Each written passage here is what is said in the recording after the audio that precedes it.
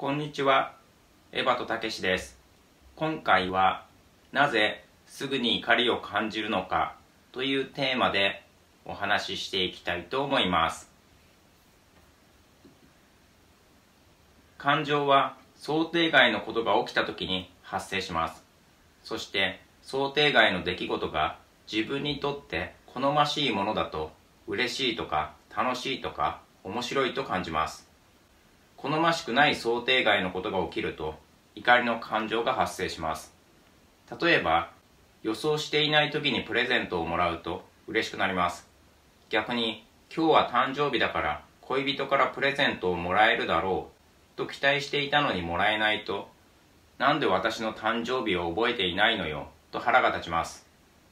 友達に貸した1万円が返ってこなくてイラつくのは借りたお金を返すのは当たり前。という思いがあるからです。1万円分の宝くじが当たらなくてもそんなにムカつかないのは宝くじは大抵当たらないと思っているからです。同じことをされているのにこの人にされても大丈夫でもあいつにされると無性に腹が立つと違う反応が出るのはそれぞれの相手に対する想定が違うからです。好ましくない想定外が起きた時怒りの感情が発生します。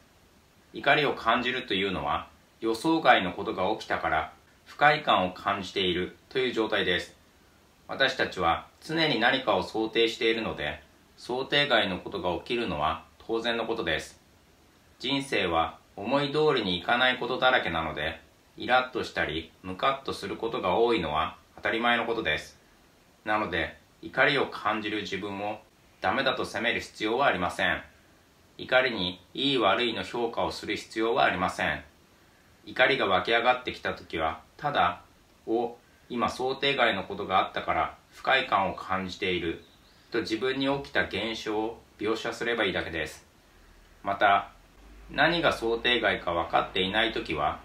私はどんなことを想定していたんだろうと考えることができます。すると私は時間通りに来るものだと想定していたんだと気づくことができます。そんな時は約束の時間を守れない時もあるよね。時間通りに来れない人もいるよね。と想定を変えることで怒りを引きずることがなくなります。怒りが発生した時そんな自分をダメだと責めることでさらに怒りを燃え上がらせることになります。怒りを感じてはいけないと想定することで怒りを感じる自分に腹が立つようになります。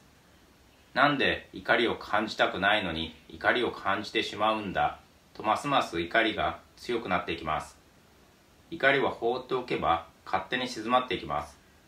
私は今怒りを感じていると抵抗せずに受け入れればその感情はだんだんと弱くなっていきます。ということで怒りを感じる自分をダメだと評価する必要はないということを忘れないでほしいと思います。怒りが湧き上がってきた時はただ「お想定外のことが起きて嫌な感じがするぜ」と自分を観察してみましょ